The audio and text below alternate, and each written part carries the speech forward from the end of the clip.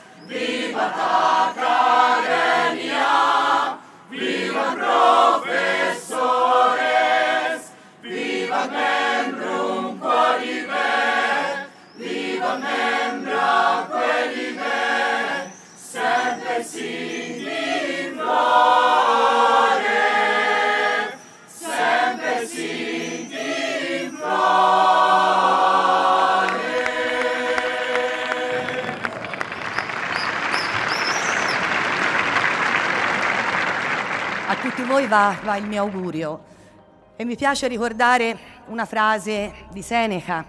Non esiste la fortuna, esistono i momenti in cui il talento incontra l'occasione. Ecco, il mio auspicio è che i vostri talenti possano incontrare le occasioni giuste, che il vostro talento che avete manifestato finora possa pienamente realizzarsi e concretizzarsi, possibilmente in questa città, se sapremo darvene l'occasione, altrimenti altrove, ma portando comunque con voi il ricordo indelebile di questa città.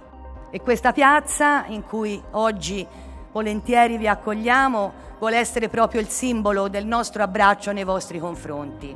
È una forma anche di riconoscenza per i vostri meriti, per ciò che avete dato a questa città, perché voi rappresentate sempre e comunque un patrimonio di cui noi tutti dobbiamo avere cura, perché siete voi che costruirete il vostro, ma anche il nostro futuro. Vi rivolgo adesso il saluto del Ministro dell'Università e della Ricerca, Anna Maria Bernini, che mi, mi onoro di rappresentare quest'oggi qui con voi. È il giorno dell'orgoglio per il lavoro che insieme a tutta la comunità accademica siete riusciti a fare e che ha contribuito a rendere gli uomini e le donne che segneranno la crescita del nostro Paese. Perché l'obiettivo principale dell'impegno quotidiano nelle aule, nei laboratori, è quello di fornirvi la cassetta degli attrezzi perché possiate da soli costruirvi il futuro. Questo vuol dire crescere. Se siete arrivati fin qui lo dovete principalmente a voi stessi, agli sforzi che avete fatto, al tempo dedicato, alle rinunce, ma anche alla determinazione, alla forza di volontà. Qualunque cosa decidiate di fare, vi auguro di andare avanti, di non fermarvi mai. Per realizzare il vostro futuro non avete bisogno di ricette magiche, avete già tutto quello che serve, è dentro ognuno di voi ed è il potere, quel potere di immaginare la bellezza del domani. Io non posso che augurarvi di trovare il coraggio e la passione per seguire i vostri sogni e per fare un giorno la differenza. Grazie.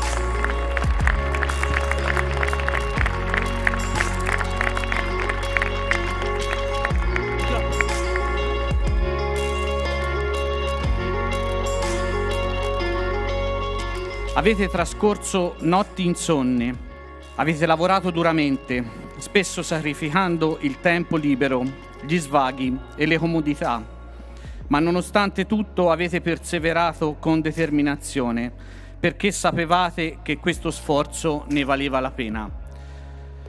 Permettetemi però di ricordarvi che il vostro successo non appartiene solo a voi. Dietro di voi ci sono famiglie, amici fidati, insegnanti appassionati e mentori illuminati che vi hanno sostenuto tutte le volte che avevate bisogno di loro. A loro dobbiamo esprimere la nostra profonda gratitudine. Questo è anche il loro successo. Tra un po' riceverete la pergamena. In un angolo in basso sta scritto Adesso tocca a voi. Quello che ricevete è un testimone. Questa è una staffetta. Dovete prendere questo testimone ed iniziare a condurre tutti noi verso nuove mete e ce lo ricorda Nelson Mandela. L'istruzione è l'alma più potente che hai per cambiare il mondo.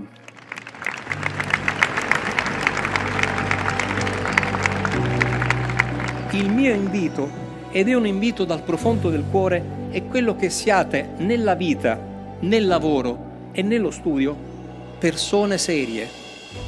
La serietà è un valore talmente normale che può sembrare strano il solo farvi riferimento.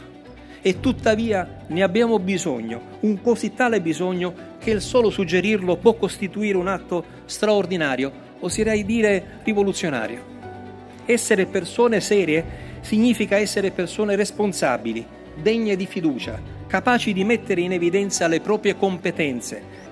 La serietà si esprime con la responsabilità, la costanza, la coerenza, l'impegno, la leggerezza, la capacità di rispondere alle sfide e alle sfighe, permettetemi di dire, a guardarsi dietro e imparare dal passato.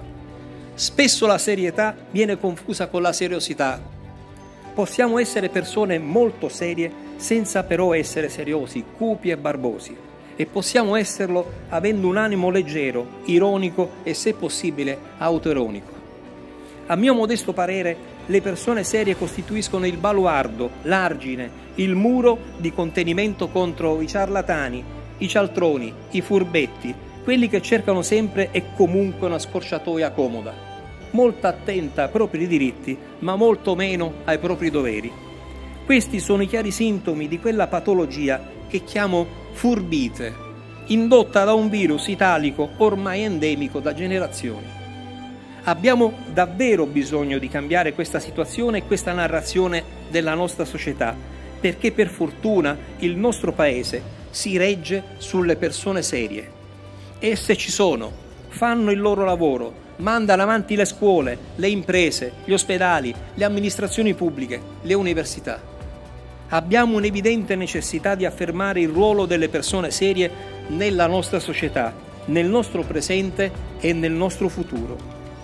Per questo vi dico che spero, desidero e mi auguro che voi tutte e tutti siate persone serie.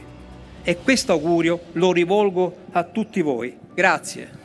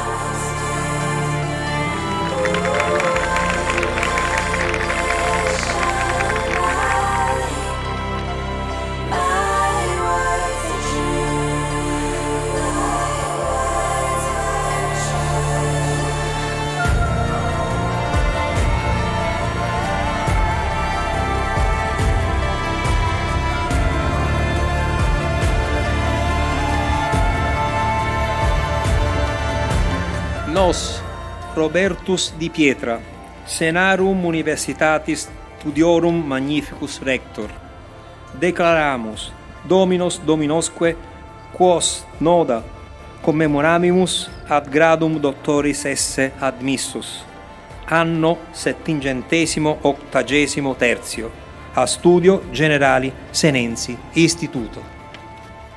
E ora facciamo un esercizio di armonia e coordinazione. Al mio 3 non dico scatenate l'inferno. 1 2 3